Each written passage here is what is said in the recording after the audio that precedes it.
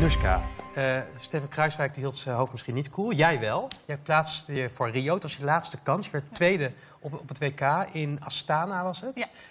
Uh, en je bent daarmee de eerste Nederlandse vrouwelijke bokster die zich plaatst. Ja, klopt. Wist je dat? Uh, ja, want het is pas in 2012 Olympisch geworden voor dames. Dus uh, ja, ja, dat, was ja. eigenlijk de bedoeling dat ik daar al was, maar, maar dat is niet gelukt. Maar ja, het gaat wel in de boeken en het, uh, zoiets gaat nooit meer veranderen. Dus dat is wel een leuk gegeven. Want je kon je al een keer eerder kwalificeren, toen lukte het niet. Ja.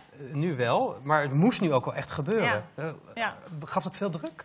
Nou ja, het was natuurlijk, we hadden maar twee kansen, dus het waren er ook niet zoveel. Maar ja, die eerste, die, ja, die ging niet zo best. En dan, ja, dan is het wel uh, vervolgens een WK waarin je drie potten moet winnen. En elk foutje, ja, dat is uh, fataal. Dus, Drop of eronder. Ja. Heb je, heb je ook een beetje risico genomen? Dat je denkt, ik ga er gewoon met gestrekt been in en...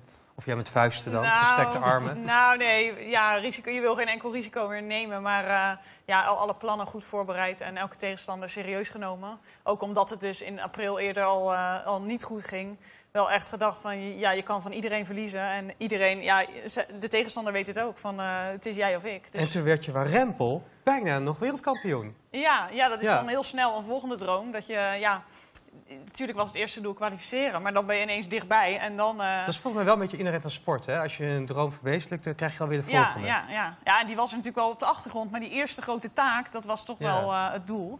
En ja, daar natuur, natuurlijk daarna dan ben je dichtbij. En ja, dat, ja, nou ja die, die droom die hou ik nog eventjes voor de volgende keer. In de finale verloor jij van deze dame. Ja. We hebben een prachtige foto hier van haar. Wie is het? Uh, Clarissa Shields. Die is inmiddels 21, maar ze was 17 toen ze dus in Londen Olympisch kampioen werd. En uh, ja, ze is pas één keer verslagen in de hele carrière. En ja, ik hoopte de tweede te zijn. En dat hoop ik nu nog steeds, maar uh, in een andere gevecht.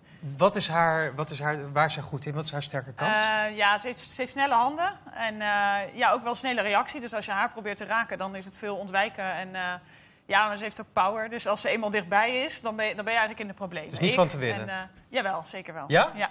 ja Want in Rio, ja, daar kom je haar natuurlijk weer ja, tegen. Ja, ja, gelukkig wel in de finale pas. Want we worden uit elkaar gezet, omdat zij nummer 1 is en ik nummer 2. Ja. Dus dan, maar hoe ga je dan aanpakken?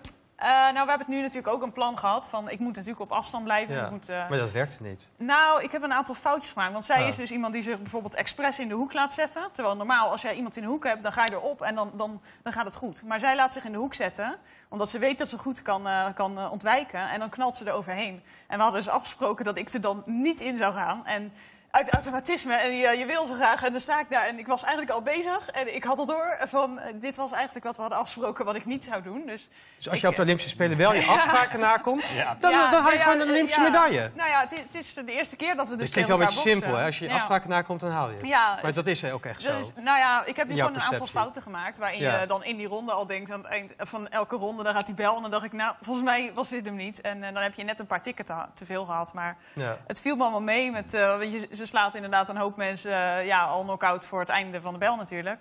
En eh, ja, die kracht die viel me alles mee. Dus, eh, Hou je, hou je goed aan afspraken. Ja. Dan kunnen we met z'n allen juichen om een Olympische medaille. Heel veel succes daarmee. dankjewel.